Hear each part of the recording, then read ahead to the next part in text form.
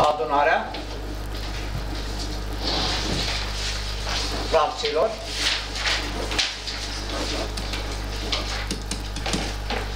ordinare.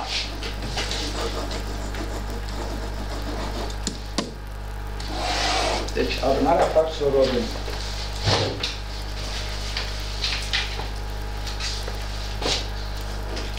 Și bineînțeles că primul punct al lecției va fi o mică recapitulare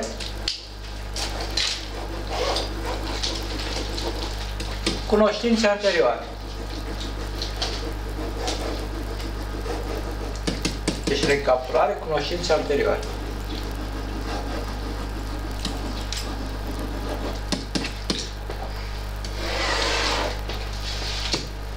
Vom face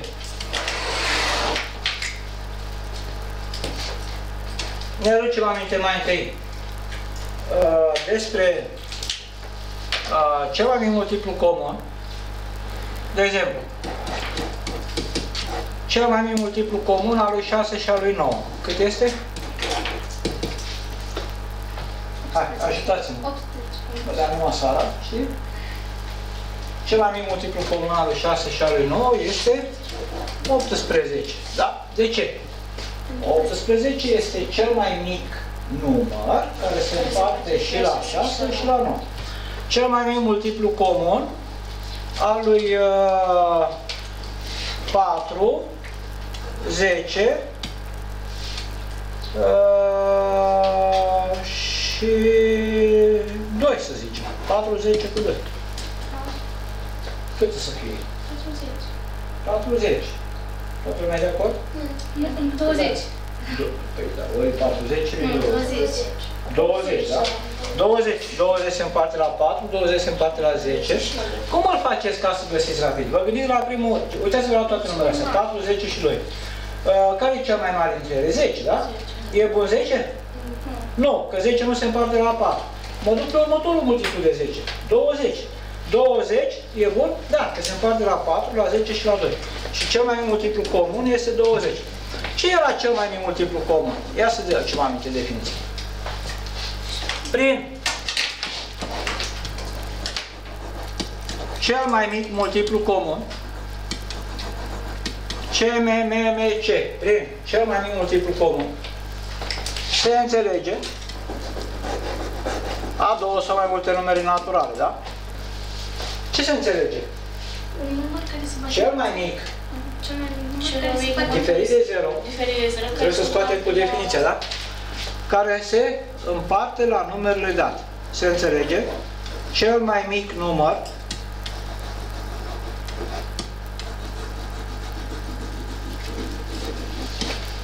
diferit de 0. Semnul de diferit vi l-am mai arătat, da? Diferit de 0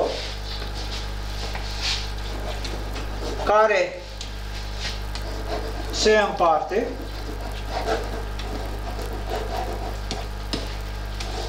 la numerele date.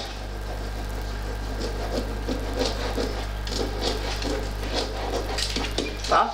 Deci prin cel mai mic multiplu comun se înțelege cel mai mic număr diferit de 0 care se împarte la numerele date. Bun. Dar dacă am, de exemplu, numere mai mari, să zicem uh, 250 cu 350 și trebuie să calculez cel mai mic multiplu comun. Cum faci? Mai întâi le descompune. Și hai să începem descompunerea. 250 mai jos, 250. așa, tragem linie, îl împărțim la cine? La 25. Nu la 25. La 2 5. Îl împart la 2 ori 5. 2 ori 5. De ce? Care e 0 în quadru, da? Îl tăiem pe 0. 0, 10 asta prin care împart, eu nu pot să scriu 10, că 10 nu e număr prim.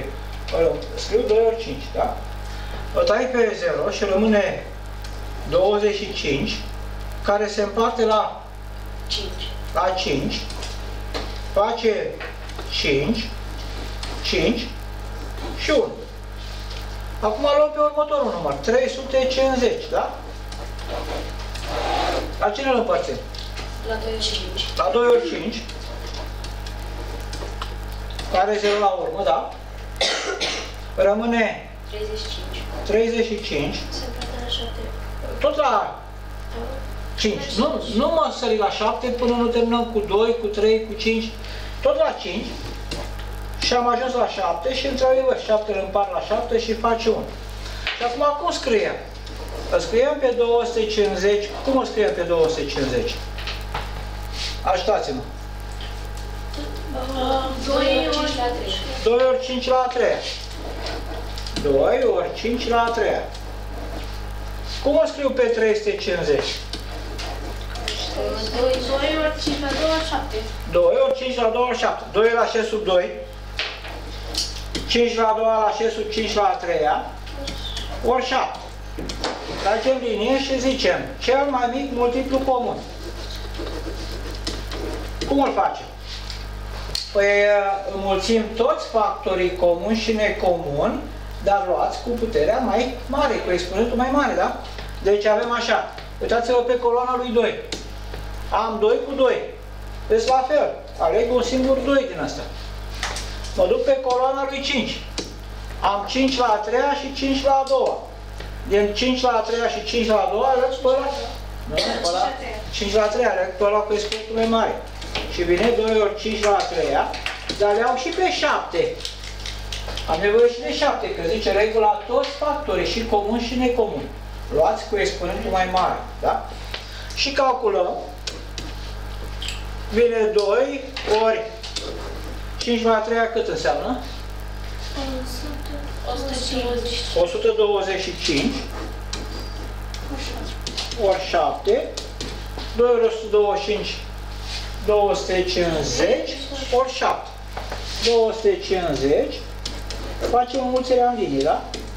7 ori 0, 0, 7 ori 5, 35, 5 și 3,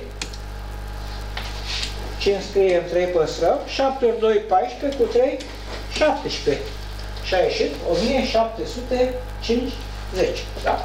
Și iată cel mai mic multiplu comun, calculat cu regulă. Să scriem regula, dar dictați-mi-o voi.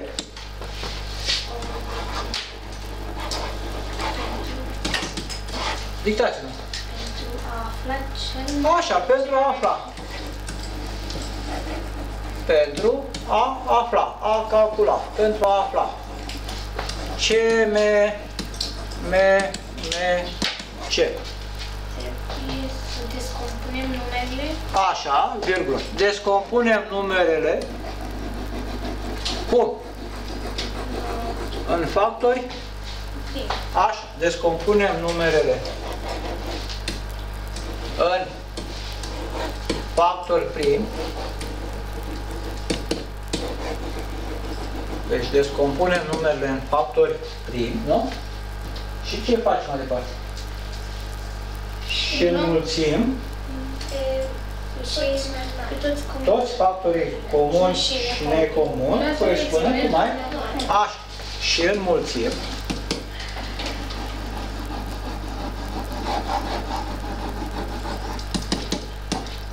Toți factorii. Toți factorii comuni și necomuni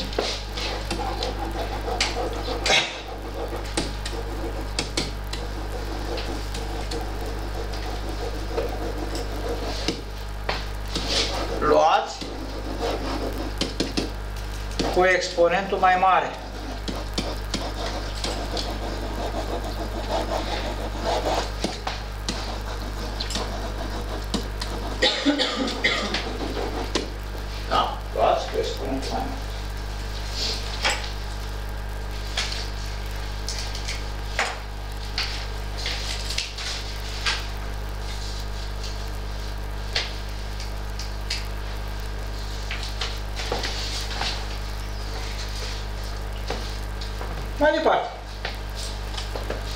A zis acum să ne aducem aminte cum aducem două sau mai multe fracții la același numitor comun. Aducerea la același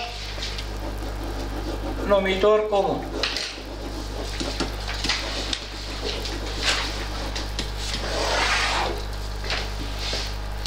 Da? Deci, tot așa, să facem un mic exemplu. Dacă am următoarele fracții, să zicem 1 supra 3 și uh, 4 supra 5. Deci 1 pe 3 și 4 pe 5. Și vreau să le aduc la același numitor comun. Cum procedez? Ce, cu ce încep? Calculez ce? Cel mai Mic, cel mai multiplu comun al lui 3 și 5. Și zic așa, cel mai mic multiplu comun al lui 3 și al lui 5, cât face? 15. 15. După ce îl calculez, cel mai mic multiplu comun, îl iau pe 15 și îl împart odată la 3, pe următor la 15 și îl împart la 5. Da? Cât vine 15 împărțit la 3? 5. 5. Și eu descriu rezultatul. Amplificăm. Așa. Deci le iau pe 15. Deci am calculat, am luat numitorii, repet încă o dată, am luat numitorii 3 și 5 și am calculat cel mai mic multiplu comun al lor, 15. După ce calculez pe 15, îl iau pe 15, îl împart la 3, îl iau pe 15, îl împart la 5. Îl iau pe 15, îl împart la 3 și 15 împărțit la 3 face 5. Iar rezultatul îl pun aici. Deci 15 ăsta care l-ați obținut voi aici, îl împart la 3. Și rezultatul pun sus aici, 5. Îl iau pe 15 și îl împart la 5. Și rezultatul pun sus aici.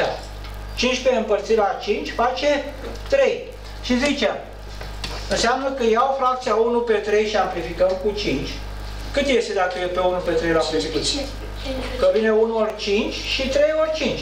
1 ori 5, 5. 3 ori 5, 15. așa. Cât face fracția 4 pe 5 amplificat cu 3? 12 pe 5. 12 pe 15. Și iată că fracțiile la care am avut eu inițial, de la care am plecat, s-au transformat în fracții echivalente, deci aici obținem fracții echivalente cu fracțiile date. Dar ce au ele în comun? Au numitorul 15, da? Deci au numitorul 15, da? Și atunci, ia să ne aducem aminte, cum, deci cum facem noi o aducere la același numitor comun? Mai uh, mă ajutați și cu regula? Mi-ați dat o dată trecută, poate vă iese și data asta. Cum era? Aduce Pentru a aduce, fracție la pentru a aduce, pentru a aduce fracțiile. Hai că voi mi-ați dat regula asta. La același numitor comun,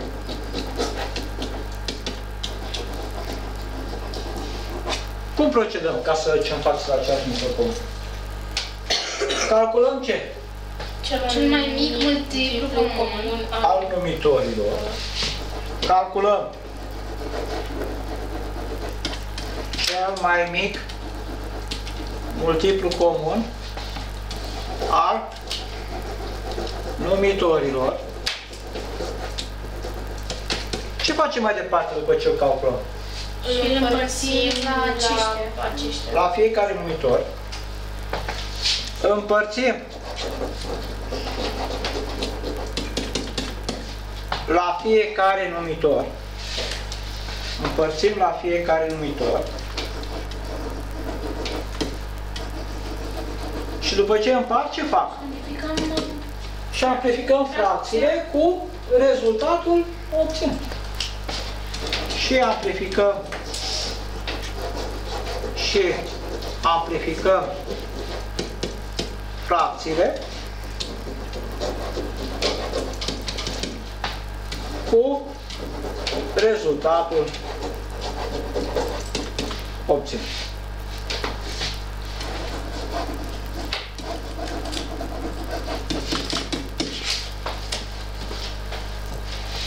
Bun. Dar mai sunt mai multe. Da, asta e baza. Da? că mai poți face și cu simplificare, poți să faci... Dar baza este asta. Avem și același numitor comun și atenție că un numitor comun poate fi chiar unul din numere, cel mai mare. Deci prima dată că ai numitor uh, 4 cu 8. Deodată 8. Că 8 se împarte și la 4, 8 se împarte și la 8, da? Deci e posibil să ai chiar unul din numitorul cel mai mare să fie și 4. sau 12 cu 4, sau 12 cu 3, sau 9 cu 3, da? Sau 12 cu 6. Deci, numitorul comun poate fi, mulțumesc, numitorul comun poate fi chiar uh, unul din uh, numerele date, da?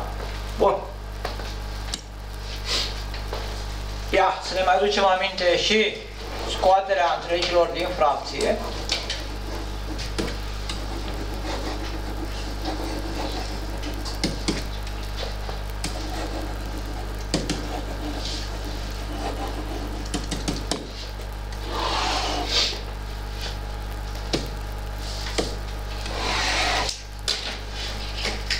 Să ne aducem aminte și o scoatere din... Ia să vedem. Mai țineți minte? Dacă am 14 supra 5 și vreau să scot întregi din fracție, cum fac? Simt că împărțim Îl iau pe 14 și împart la 5, da? Și zic aici, alăturat. 14 împărțit la 5, cât vine câtul, cât vine restul? 3 restul. Nu. 3. 2. 14 împărțit la 5 vine 2. 2 ori 5, 10, rămâne restul 4. Câtul 2 și restul 4, da? Da, și Câtul unde îl pun? uh, în fața. În față. Fața fracției. Iar restul unde îl pun? Uh, ca Ca numărător. numărător, da? Și vine mai întâi câtul, Uh, 2 întregi. 2 întregi, restul Uh, 4 supra 5. 5. Dacă nu mai. Ia și tu. Dar dacă ai 24 supra 7, Eu. da, A, pe împărțim 24 la 7 da, și ne dă uh, 3 3 și îl pun în față, 3 întregi, și uh, rest 3 și scriem de pe 7. 3 întregi și 3 pe 7. Foarte bine. Da, deci ca regulă, ia să vedem. Da 18 pe 5. Împărțim 18 pe 5. La 5, da. Și vine Uh, de câte ori? 18 împărțit la 5. de 3 ori. De 3 ori. L-am scris aici în față, 3, da? Uh, 3 ori 5 vine 15. și mai rămâne până la 18 un rest de... 3. Aici mi-l pui și restul. Întregi aici, restul sus. 3 întregi și 3 și copiez numitor. 3 întregi și 3 pe 5, da? Și atât cum uh, scoatem întregi din fracție. Uh, 19 supra 2. Zi-mi uh, Bogdan, nu Bogdan, Andrei. Așa. Uh, 19 împărțit la 2 vine 19 împărțit la 2. Uh, 9. 9. 9 ori 2 face 9 ori 2 face 18. așa. Uh, iar 1. 1 scriem sus, da? Da. Și vine 9 întregi și o, O 2. o 2. Da? Și asta era scoaterea întregilor din fracție. Ia să ne aducem acum aminte introducerea întregilor în fracție.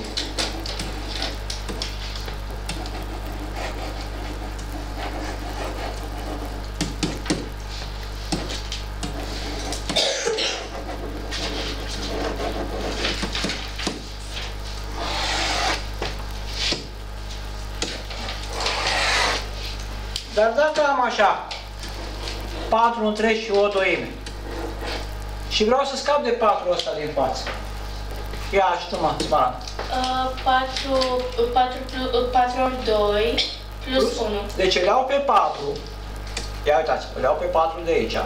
Îl înmulțesc cu ăsta de aici și îl adun sus, da? Și zic așa. Păstrăm 2. Și păsăm 2 Și zicem 4 ori 2 plus 1. Deci îl iau pe 4, îl înmulțesc cu 2 și adun cu 1. Supra 2. Deci vine 4 ori 2 plus 1 pe 2, 4 ori 2, 8 plus 1, 9 supra 2. Da. 3 întregi și o cincime, smarand. Uh, 3 ori 5 plus 1. 3 ori 5 plus 1 supra 5. Și egal mai departe. 16 supra 5. 16 supra 5. Andrei, 4 întregi și o șesime. Uh, 4 ori 6 supra 1. 4 ori 6 plus, deci ăsta 4 ori 6 jos plus 1 de sus, da? 4 ori 6 plus 1 supra, Uh, supra 4. Nu, supra 6. supra 6. Uh, 24 pe 6. Nu, nu, fă tot. Ah, 4, 4 ori 6, 24 plus 1, 25. 25 supra 6.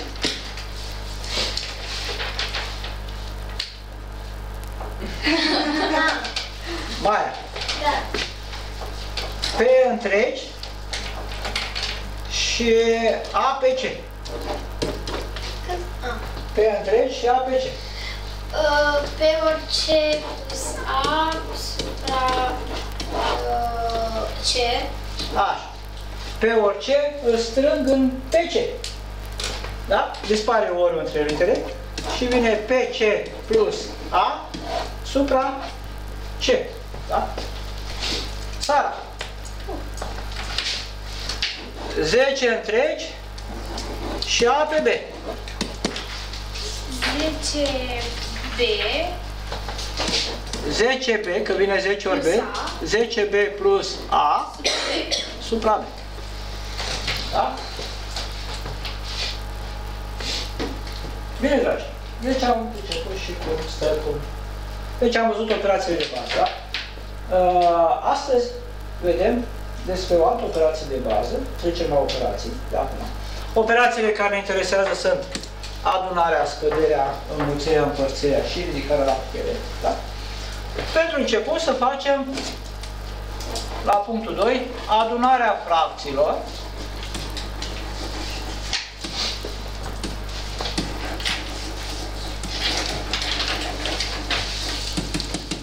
care au același numitor comun. Cred că ați făcut-o și prin clasa 4 nu? Ați făcut-o sau nu? Nu mai știu. Nu, eu am făcut un pic din ea. Ai făcut-o, nu?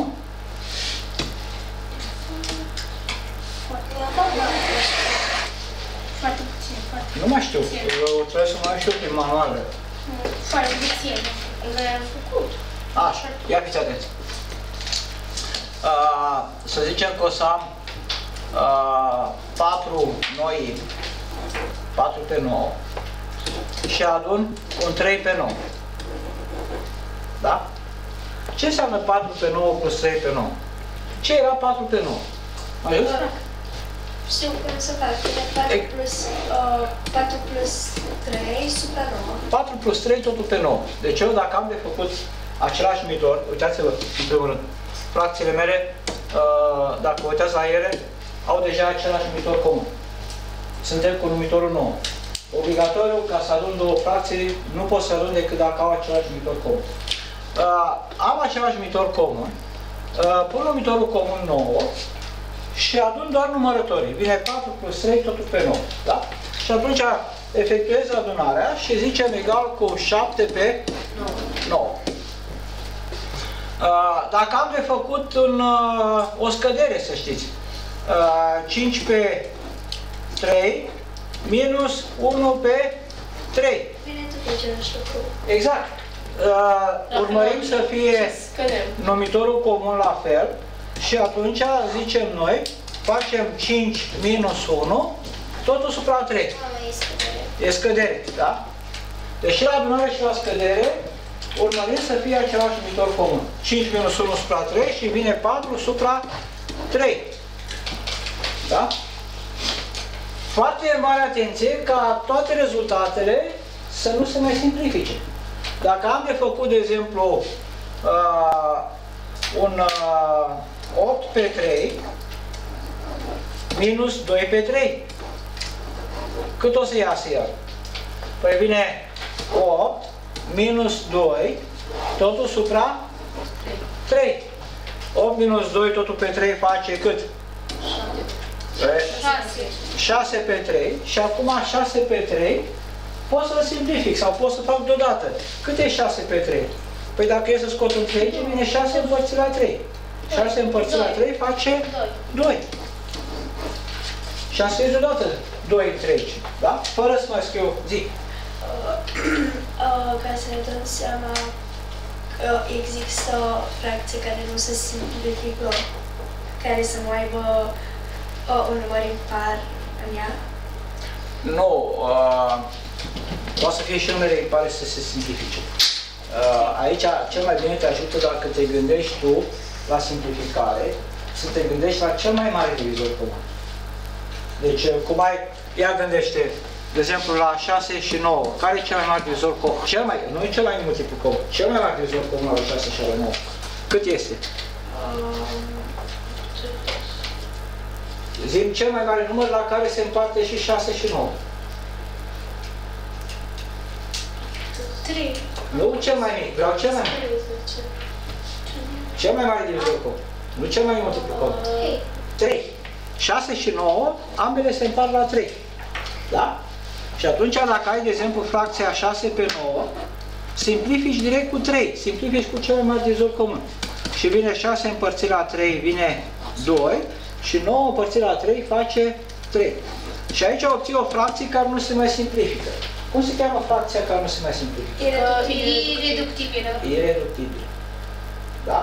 Deci ai, repet, ca să vezi cât este simplificarea, cel mai bine este să calculezi cel mai divizor comun. Și aici am dat niște reguli la cel mai divizor comun.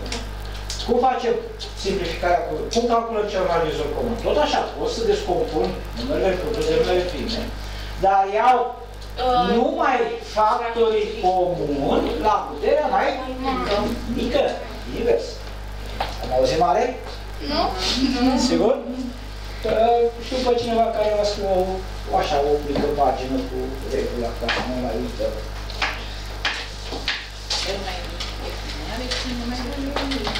Da, e mereu invers. La cel mai mic multiplu comun e pe toți factorii comuni și necomuni, la cel mai mare e, e numai pe cei comuni. Da? Bun. Uh, sau aplici criterii, din aproape în aproape.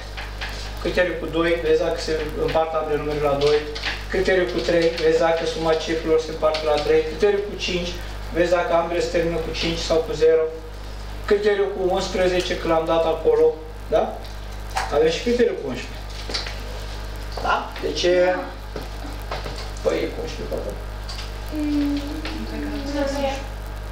Nu este. Da, eu știu. 11. Trebuie să fie la cu sume alternate. Cu cele două și cu cele și Da, cu spec. pare să fie mai Da. complicat. E mai complicat așa un pic, da. Era mult Și bun. eu Suma alternativă. Suma alternativă, da. Nu, trebuie să punem jos acolo, dar nu mai rău. Ba da, mai e o bucățică. Mai e. Așa, cu 11. Suma alternată. Bun. Uh, ia, să vedem. Proprietăți. Deci, ca regulă, regula de adunare. A pe C plus B pe C, cât o să facă? A pe C, A plus B pe ce? A plus B, totul pe C. Da? Deci A plus B, totul pe C. Aia, Da, să zicem. aia, teme nou la școală, nu-și aduce aminte, cască la noi din Dar minte. nu m-am dus aminte. Nu există școală. Proprietățile adunării. Ia să vă văd eu, dragilor, dacă mai știți în general, ce proprietăți are adunarea. Este comutativitatea, Comutativ. asociativitatea, Asociativ. element neutru. Element neutru. Zero. Zero. Bine. Hai să vedem. Prima proprietate de care să ne aducem aminte uh, este proprietatea de asociativitate. Asociativitate.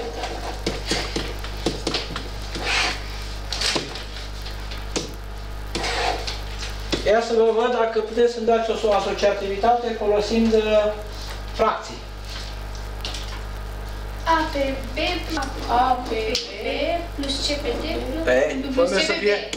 A pe M, să zicem, plus B pe M, în paranteză, plus C pe M, egal cu, și schimbăm paranteză, egal cu A pe M A pe M, plus paranteză plus paranteză B pe M B pe M, plus C pe M. Arată ciudat, prea mult zi mult. Ca să fie M de la multiplu comun. Sau Da. de la mulți. De la mulți multipli. Sau da mă. Așa. Asta este asociativitatea. Altă proprietate care a zis că mai este? Comutativitatea. Comutativitatea.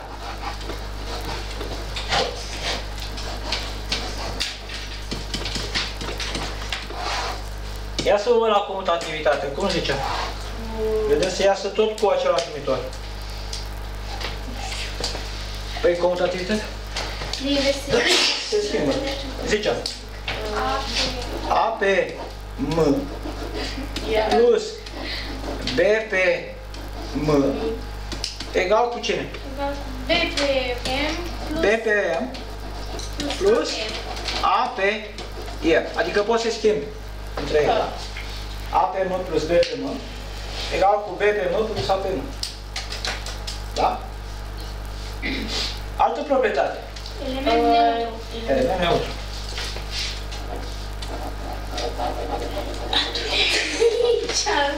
Cine este element neutru? Zero. 0. Element neutru 0.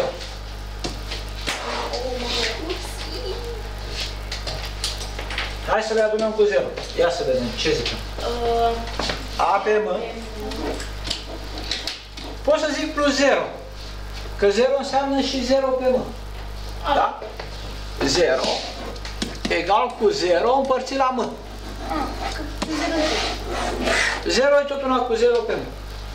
Da? 0 plus 0 pe M egal cu cine? Egal cu 0 pe M plus, egal cu 0 plus 0 plus A pe M.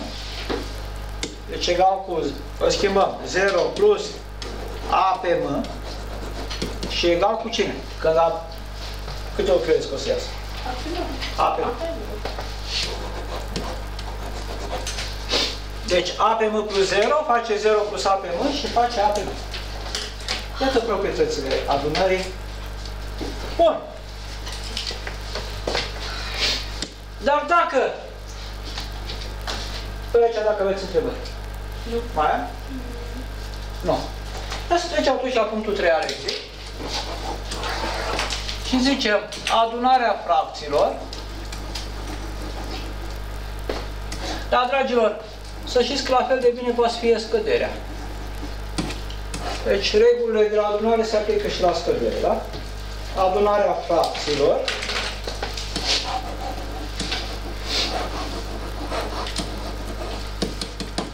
Cu numitori diferiți. Adunarea fracțiilor cu numitori diferiți.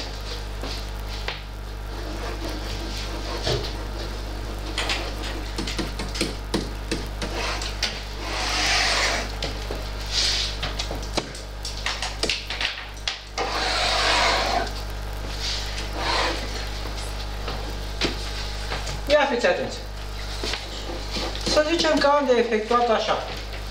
Să zicem că am de efectuat, suntem atenți, da? Uh, suntem atenți și întrebăm dacă nu înțelegem. Să zicem că am de efectuat 2 pe 3 plus 4 pe 9. Uitați-vă ce am să fac prima dată. Mai întâi și mai întâi, uh, voi încerca să aduc fracțiile la același numitor comun. Care este, care este cel mai mic multiplu comun al numitorilor 3 și 9. 9. 9. Cel mai mic multiplu comun al lui 3 și al lui 9 face 9. Ce fac mai departe cu 9 acesta? 9 îl împart la 3 Și la și 9. 9 îl împart la 9. 9.